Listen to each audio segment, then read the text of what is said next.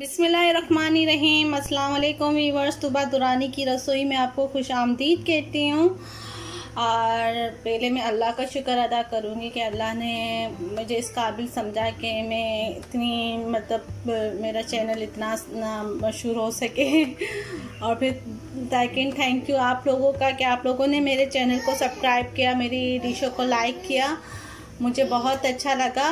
और जैसे कि आज आप देख रहे हो चिकन तो मैं आज बनाने जा रही हूँ मुर्गी दाल यानी शाही दाल बना रहे मगर चिकन के साथ बना रहे मुर्गी के साथ बना रही जा रही हूँ मैं दाल। तो ये मैंने चिकन जो लिए आप देख रहे हो कि इसमें विंग्स है इसमें पसली है ये इसकी विंग्स है। विंग्स को उर्दू में क्या बोलते उर्दू में क्या बोलते हैं? फैसल विंग्स को। विंग्स को उर्दू में क्या बोलते हैं? हाँ वो मुर्गी के व्यूवर से मुर्गी के पास है ये पसलियाँ है, ये गर्दन है, ठीक है? इस तरह की ये मैंने चिकन ली है, ठीक है? और ये मैंने दाल यहाँ पे चढ़ाई है। और ये मैंने मिक्स दाल ली थी, यानी मेरे दाल के अंदर मसूर की दाल है।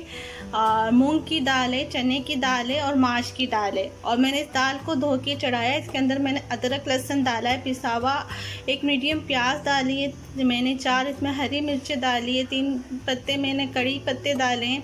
एक दालचीनी का टुकड़ा डाला है। पाँच मैंने लौंग डाली, ओ, पाँच मैंने काली मिर्च डाली है और तीन मैंने लौंग डाली है। और इस तरह ये मैंने दाल को उबालने के लिए रख दिया है।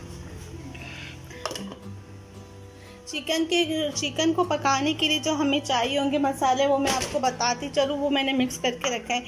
मैंने इसमें दो टेबल स्पून प्याज लिए। इसमें मैंने नमक लिया है चिकन का भी और दाल का भी।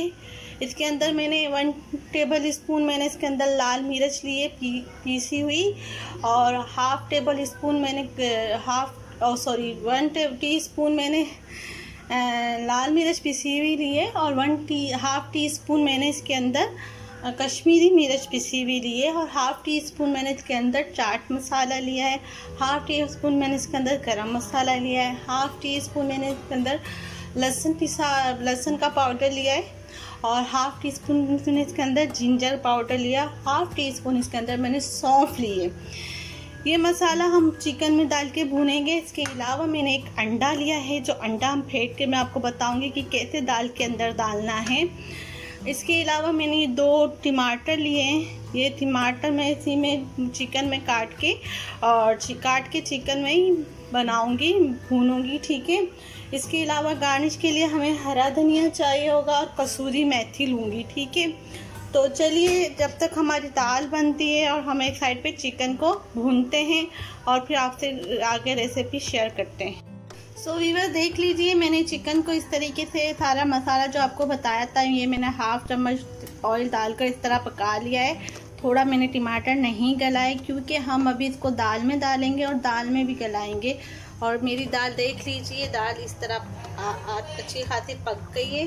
तो चलिए हम दाल के अंदर ये सारा डालते हैं और इसको पकाने रखते हैं और आगे फिर आपसे रेसिपी को शेयर करते हैं।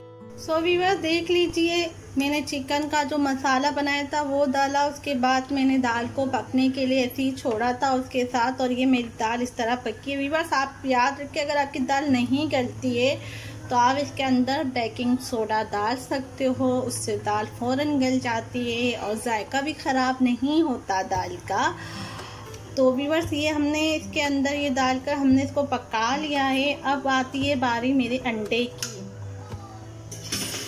वीवर्स ये देखिए, ये मैंने अंडा फेंट के रखा है। इसके अंदर कुछ नहीं डाला। मैं अंडा ये इस दाल के अंदर डाल रही हूँ। अब मैं इसके अंदर अंडा डाल दिया है, इसको थोड़ा चूल्हा और तेज़ करेंगे, इसको हिलाएँगे इस तरीके से। ठीक है। इसको थोड़ा पकाएँगे ताकि हमारा जो देखिए अंडा देख रहे हैं ना, इस तरह अंडा पक जाए। ठीक है। ये हमारा अंडा पक गया इसके अंदर। देख लीजिए व्यूअर्स किस तरह अंडा पका है इसके अंदर। अब हम इसके अंदर डालने जा रहे हैं कसूरी मेथी।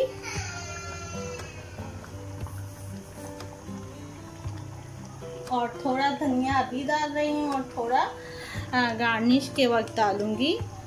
और ये हमारी हो गई ये दाल तैयार। इसको हम निकालते हैं और इसमें बेकार डालते हैं और आपको बताते हैं कि हमारी दाल कैसी बनी है। हाँ तो चलिए आइए, मैं आपको बता दूँ कि बिगाड़ के लिए मुझे क्या चाहिए। मैंने जो तड़का बनाना है, उसके लिए, तड़के के लिए मुझे चाहिए बेगार के लिए कि ये मैंने कलौजी लिए हाफ़ टी स्पून ये मेरे पास हरी मिर्ची मिर्च है, बड़ी वाली, उसको मैंने इस तरह कटिंग किया है। मैंने पाँच साबुत मिर्च लिए लाल। जो साबुत लाल मिर्च होती है, गोल वाली, वो मैंने पाँच लिए हैं। मैंने तीन लहसुन के लिए थे तो इस तरह चॉप किया है। राई दाना लिया है मैंने हाफ़ टी स्पून और हाफ़ टी स्पून ज़ीरा लिया है। चले, हम तड़का बनाते हैं और इसके अंदर तड़का डालते हैं और आपको गार्निश करके बताते हैं हमारी चिकन और दाल। बस देख लीजिए मैं तड़का तैयार कर रही बिगाड़ जो मैं इस दाल के अंदर डालूँगी और फिर मैं आपको गार्निश करके बताऊँगी कि हमारी दाल कैसी बनी है। तो बस देख लीजिए, मेरी मुर्गी और दाल तैयार है। चिकन दाल बिल्कुल रेडी है और आप आई होप मेरा ये दाल बनाने का तरीका पसंद आया होगा। और व्यूवर्स इस तरह से बनाइए, यकीन जानिए, बहुत अच्छी बनेगी। और इसके अंदर जो मैंने विंग्स यानी पर डाले हैं और गर्दनें डाली और जो चिकन की मतलब पसलियाँ वगैरह डाली है, जो हम मुर्गी की ये चीज़ें खाने से अवॉइड करते हैं। यानी घर में ये होता है कि ना बोटियाँ होती है, वो खाई जाती है और ये चीज़ें हमेशा औरतों को ही खानी पड़ती है। तो ये चीज़ें इस तरीके से आप दाल में डालिए, यकीन जानिए, दाल बहुत यमी सी बनेगी। और आप को ये बिल्कुल डिफरेंट लग रहा होगा। मेरी हमेशा से यही कोशिश है वीवर्स कि आपको मैं सादे से ज़्यादा खाना डिफरेंट तरीके से बनाकर बता सकूँ, ताकि आपको ये और यमी सा लगे। और इसमें जो मैंने अंडा डाला है, ये इसको और डिफरेंट सा करता है। मैंने एक अंडा डाला है, आप चाहे तो दो भी डाल सकते हैं। और इस तरीके से दाल बनाइएगा। और प्लीज़ मुझे मैसेज करके ज़रूर बताइएगा कि मेरी दाल का तरीका और मेरी दाल आपको कैसी लगी बनाने के बाद। प्लीज़ मेरे चैनल को सब्सक्राइब कीजिएगा, मेरी वीडियो को लाइक कीजिएगा, मुझे दुआओं में याद रखिएगा। अल्लाह हाफिज़।